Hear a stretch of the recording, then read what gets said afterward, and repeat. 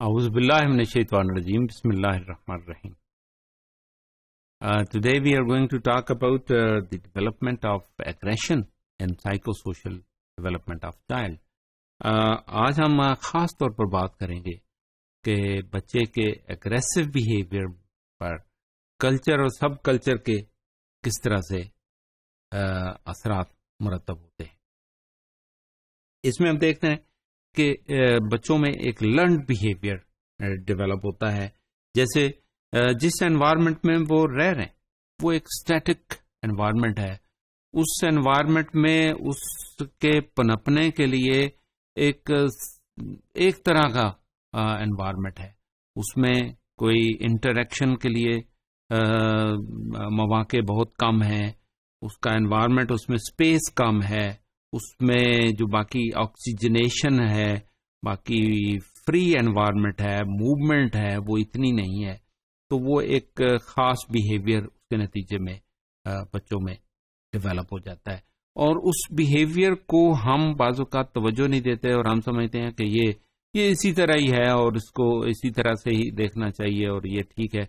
और, बल्कि हमें एक्सपर्ट ओपिनियन से फ़ायदा उठाना चाहिए।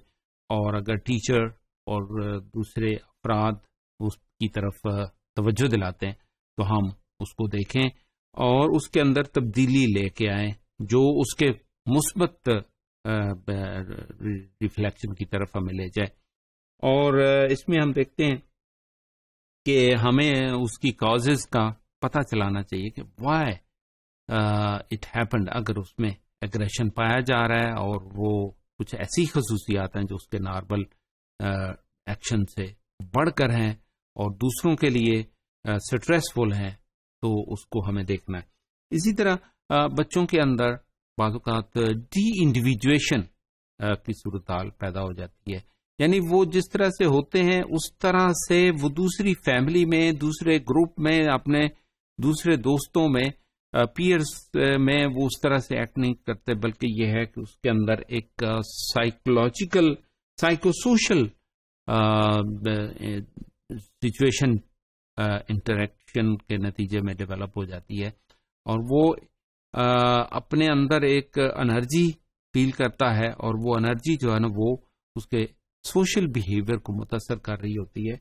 और वो क्राउड में अपने आप को डिफरेंट प्रेजेंट करता है। और वो महसूस करता है कि मैं अगर डिफरेंट प्रेजेंट करता हूँ और वो उसका एग्रेसिव बिहेवियर है और लोग उसकी तरफ़ मुतवजो हो रहे हैं और ये उसके लिए बहरल ठीक नहीं है। तो कल्चर उसको प्रमोट कर रहा है। लोग उसको यानी एक्सेप्ट कर रहे हैं, उसके बिहेवियर को, उसको देख रहे हैं और वो अपना बिहेवियर शो कर रहा है। और वो अपने दोस्तों के साथ मौजूद है या फैमिली के साथ मौजूद है, लेकिन फैमिली आउट ऑफ़ सिचुएशन है अपने होम से बाहर है, घर से बाहर है। तो ऐसी सूरत में वो बच्चे उस कल्चर से मुतासर हो रहे हैं, यानी इर्द गिर्द जिस तरह का इन्वायरमेंट हो रहा है, वो बाद उस तरह की सूरत के साथ मुंसलिक होता है।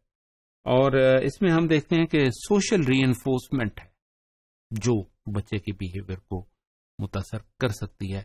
यानी वो जब इंटरेक्टिव होता है with the society with the fellows with the peers तो उसको क्लैप uh, किया जा रहा है। उसको एक्सेप्ट किया जा रहा है। उसके उस एग्रेसिव बिहेवियर को उसकी फ़िज़िकल एक्टिविटी को आ, uh, किसी ने मॉनिटर नहीं किया किसी ने चेक नहीं किया किसी ने उसको डायरेक्शन नहीं दी और बल्कि यह है कि उसको एक्सेप्ट किया जा रहा है उसको एडमायर किया जा रहा है। उसके लिए बाकी एप्रिसिएशन जो है ना वो आ, मिल रही है उसको सिचुएशन में बीइंग रिवार्डेड और कई तरह की वो रिवार्ड की सूरतें हो सकती हैं। कि क्लैप है एक्सेप्टिंग शाउट्स हैं और ख़ास स्पेसिफिक बिहेवियर है जो उस बच्चे को एक सोशल री के तौर पर मिल रहा होता है। और इसके नतीजे में जो वो बिहेवियर इख्तियार करता है। That is aggressive behaviour and that aggressive behaviour is leading to words is total personal and will see more के बच्चों में खास तौर पर वो जब अपना एग्रेसिव बिहेवियर खास तौर पर शो करते तो उसको बड़ी इज़्ज़त के साथ, उसको रिस्पेक्ट दी जाती है कि इसने बड़ा एग्रेसिवली वहाँ दूसरे को हिट किया पुश किया, उसको मारा, इसने उसकी मुरम्मत की, इसने उसको ठीक कर दिया, इसने इसको कंट्रोल किया और दैट इज़ बीइंग अप्रिसिएटेड तो ऐसी सूरत में जब उसे अप्रिसिएशन मिलती है रेस्पेक्ट की सूरत में कि बाकी बच्चे जो है ना वो उस से डरते हुए उसकी रेस्पेक्ट कर रहे हैं या उससे ऐसी सिचुएशन में उसको देख रहे हैं कि उसके लिए रास्ता छोड़ देते हैं, उसके लिए जगह बना देते हैं तो ऐसी सूरत भी उस, यानी असरअंदाज होती है तो वो और एग्रेसिव होता है।